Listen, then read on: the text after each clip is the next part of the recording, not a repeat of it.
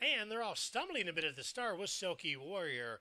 The lead is Miss Moon Pie jetting out for the lead. Along the inside, Princess Tabature to the outside.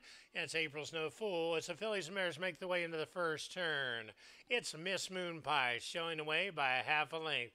On the outside, picking it up, that's April No Fool against the rail. Princess Tabature comfortably placed in third. To the outside is LA Store, rounding out the top four.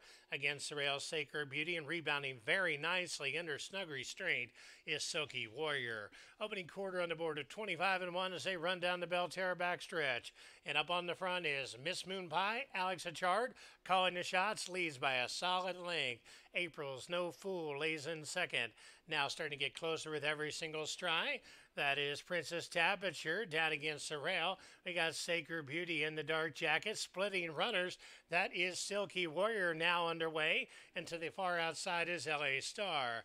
A half on the board of 49 and 3, and they picked it up just a tick. With the lead is Miss Moon Pie. Miss Moon Pie owns it now by a nostril, but April's No Fool is on the outside and means business. Right behind is Princess Tabature, set up for a good time run and moving third.